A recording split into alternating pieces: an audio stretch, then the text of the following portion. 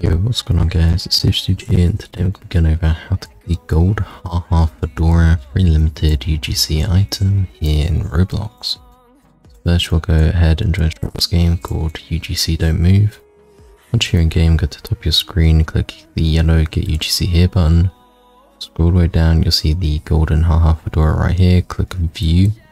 You'll see you need 75 wins to actually redeem this, so that is quite a lot.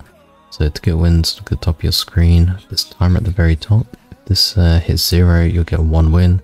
You can also get one win from your daily or five wins from your day six daily. That's how to get wins.